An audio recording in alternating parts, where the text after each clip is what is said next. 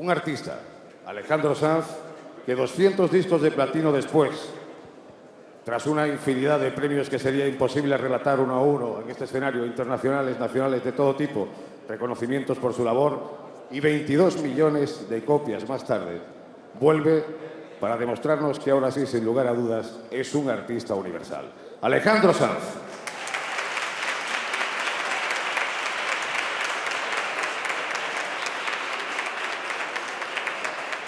Buenos días. Bueno, primero muchísimas gracias por estar aquí. Este, sé que todo, todo mi equipo está muy nervioso, casi me pone nervioso a mí, pero quiero agradecerles que hayan asistido a esta rueda de prensa para presentar mi disco. Para mí es un día muy importante y solo les quiero pedir un favor que recuerden que no soy ni economista ni político y pueden hacer las preguntas que quieran. Hola.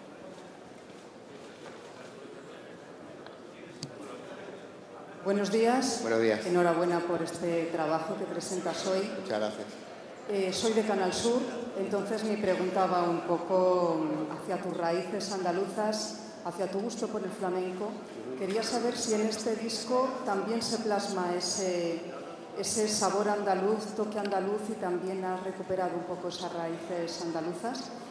Y aprovecho para una segunda pregunta, eh, que nos hables un poco de, de las ciudades, cuando cuando tu, tu gira llegue aquí a España, eh, ¿dónde vas a empezar? Creo que es en Barcelona, pero luego ¿por dónde vas a seguir esa gira? Gracias. Bueno, eh, primero lo, el, el, flamenco es imposible que, que, no esté en mis discos porque mi forma de cantar eh, no, no, es pop, es flamenca. Es decir, la forma en la que yo me desenvuelvo en, la, en las líneas melódicas es flamenca y mi forma de, fra, de frasear es flamenca. Entonces, siempre va a estar presente, incluso cuando no he querido que en este disco hubiera instrumentos flamencos, no hay guitarra flamenca, no hay cajones, no hay percusiones flamencas, pero sí en mi forma de cantar está, ¿no? Y en, la, las cosas de las letras también, ¿no? Este, en cuanto a las ciudades, empezamos en verdad en Barcelona, el Palau de la Música, a finales de noviembre y principios de diciembre, tres conciertos únicos en teatro, como hicimos en Madrid en el anterior, la anterior gira que hicimos en el Teatro Compact en la Gran Vía pero después vamos a ir por toda la geografía que nos permita y que, que se pueda ir, claro. Pero Andalucía, desde luego, va a estar, eso, eso, está claro. Ah, el título, bueno, el título no es, no es más que una oda a la música, ¿no? O sea, quiero decir que hay muchas cosas eh, que parece que son negociables, que, son, que pueden este, cambiar alrededor tuyo, casi, casi siempre los grandes cambios se producen de forma sigilosa pero hay una, una, cosa que yo creo que hay que, que, tener muy claro y es para mí, para mí lo que no se toca es la música, es algo que no, no es negociable.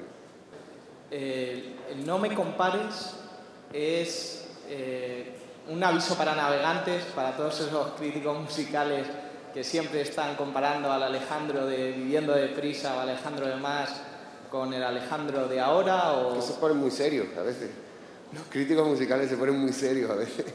Y entonces están todo el rato... Sí, sí, es un poco... Bueno, la, la, historia de la canción es... Perdona, te he cortado la pregunta. No, no, por favor. No, este, la historia de la canción... No me gusta contar la historia de las canciones, creo que, que no es justo contarlas, pero sí hay un poco de eso, ¿no? Es decir, siempre la comparación siempre la hacen con lo que has hecho antes. Entonces, es muy difícil, además siempre estás en desventaja porque, claro, lo, en los primeros discos tú tienes esa esa ventaja un poco de la sorpresa, ¿no? Cuando tú sacas un disco y, no te, y, lo que has hecho no se parece prácticamente a nada de lo que escuchas en radio, es más fácil que la gente le preste atención o le llame o, de algún modo le pueda gustar más o menos. Pero ya cuando pasa el tiempo ya esta, esta cosa de la sorpresa se pierde. Y entonces, bueno, pues es, las comparaciones se vuelven un poquito odiosas, ¿no? Y siendo un artista que yo creo que eres consciente, Alejandro, de que nos has acompañado a todos en algún momento de nuestra vida con tu música en momentos sentimentalmente especiales. ¿Serías capaz de quedarte con un momento que para ti sentimentalmente haya sido realmente especial y único? Para mí, en mi carrera, probablemente el primer concierto que hice en el, pa el pabellón del Real Madrid fuera un, uno de esos momentos. Ahí blanco, ¿no? Sí. No, pero no porque, no porque sea merengue, sino porque en realidad este, aquel concierto fue muy emotivo, fue el primer concierto realmente donde me di cuenta que algo estaba pasando. Recuerdo a mi padre además subiendo por aquellas escaleras todo sofocado, viendo a su hijo allí, entonces fue un momento bonito. Gracias, Alejandro. Gracias. Hola Alejandro, Estivali de Europa Press Televisión. Hola, ¿cómo estás? Eh, ¿Qué tema o temas destacarías de este disco? ¿Hay alguno que sea especial para ti? Bueno, hay 13 canciones en el disco. Esto para un andaluz significa dos cosas.